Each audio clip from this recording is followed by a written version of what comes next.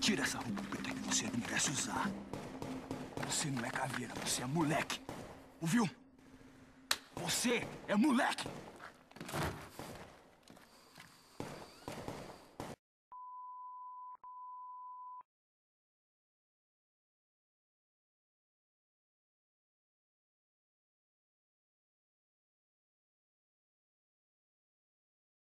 Subi pra caralho.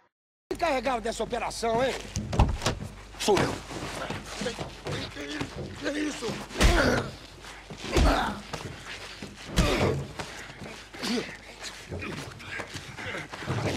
Olha pra mim. Olha pra mim.